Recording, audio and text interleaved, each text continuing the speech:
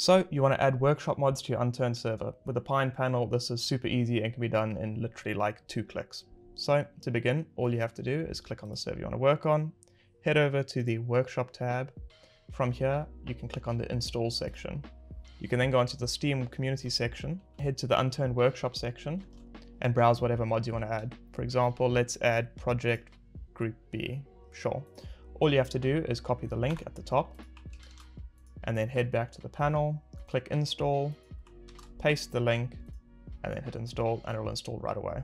Our workshop installer also lets you add just the mod ID directly, or you can add multiple mods at once by just separating it with a comma or a semicolon. So for example, let me add a bunch of mods over here, all just separated with a comma. Click install, give it a few seconds, and there we go. We have 36 workshop items ready to be installed. As you can see, each workshop item has a little warning icon next to it. This just means it's not actually installed yet. The way Unturned works is it adds it to a file and then the next time you restart your server, it'll download the workshop item. So if we just click this, we can restart now.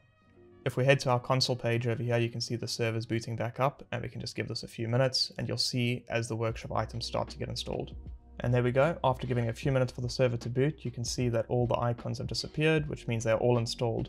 And if you check the console as well, you should see that they've all been downloaded. This means you can hop on the server and all the workshop items will be there ready for you to enjoy. As usual, if you have any questions, feel free to open a support ticket and our team will be happy to assist.